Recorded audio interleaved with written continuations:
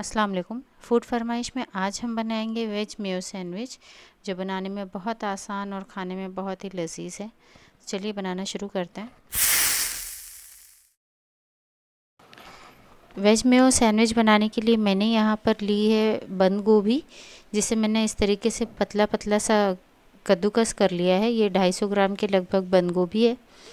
इसमें दो medium size के गाजर को मैंने कद्दूकस करके डाला है और आधी शिमला मिर्च को भी इस तरीके से बारीक बारीक कट कर लिया था। ये भी उसमें डाल दिया है मैंने। अब इसमें हम कुछ मसाले डालेंगे। बहुत हल्के से थोड़े बहुत मसाले डलते हैं इसमें। ब्लैक पेपर पाउडर, काली मिर्चों का पाउडर, आधा टीस्पून नमक हम हंसबे जायका डालेंगे। अच्छा नमक थोड़ा सा कम ही रखिए क्योंकि हम मेयोनीज़ भी इसमें ऐड करने वाले हैं जिसमें ऑलरेडी नमक होता है। और इसमें डालेंगे soya sauce, half teaspoon.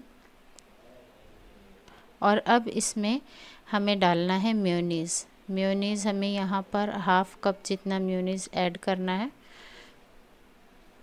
और इन सारी चीज़ों को डालकर इसे अच्छी तरीके से मिक्स कर लेना है। बहुत जल्द, बहुत आसानी से बन जाने वाला सैंडविच है ये। बच्चे अक्सर जो है ना वो सब्ज़ियाँ खाना पसंद नहीं करते। तो आप इस तरीके के सैंडविचेस बना के उन्हें खिला सकते हैं। बहुत टेस्टी लगेंगे और सब्जियों का इंटेक भी हो जाएगा बच्चों के लिए। अगर आपको मेरी ये रेसिपी पसंद आती है तो इसे लाइक कीजिएगा। कमेंट में ज़रूर बताइए कि आपको ये रेसिपी कैसी लगी। और अगर आप मेरे चैनल पर नए हैं तो इसे सब्सक्राइब कीजिए और बेल आइकन को भी दबाइए ताकि लेटेस्ट आने वाली वीडियो की नोटिफिकेशन आप तक पहुँच सके। तो यहाँ पर मैंने ब्रेड पर जो हमारी स्टफिंग थी, वो लगा दिए। स्टफिंग की क्वांटिटी आप कम ज़्यादा कर सकते हैं। और दूसरी चीज़, ये जो ब्रेड स्लाइस के जो किनारे हैं, इन्हें आप कट भी कर सकते हैं। मैं यूजुअली कट नहीं करती हूँ, क्योंकि जब इन्हें हम टोस्ट करते हैं तो इसके किनारे और क्रिस्प हो जाते हैं, जिसकी वजह से हमें टेस्ट इसका बहुत अच्छा लगता है। तो यहाँ पर दूसरा स्लाइस रख दीजिए और सैंडविच तैयार है हमारा।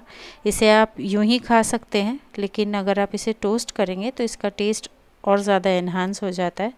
तो फ्राई करने के लिए मैंने यहाँ पर बटर का इस्तेमाल किया है। आप चाहें तो ऑयल या घी भी इस्तेमाल कर सकते हैं। लो फ्लेम पर थोड़ा सा घी डालिए या मक्खन डालिए और उस पर ब्रेड स्लाइस रख दीजिए।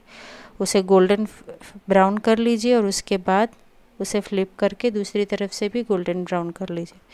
तो इस तरीके से हमारे जो सैंडविच है, वो दोनों तरफ़ से गोल्डन ब्राउन और क्रिस्प हो चुके हैं। और ये खाने में बहुत ही टेस्टी हैं। आप इन्हें ज़रूर बनाइएगा। मिलते हैं नई रेसिपी के साथ।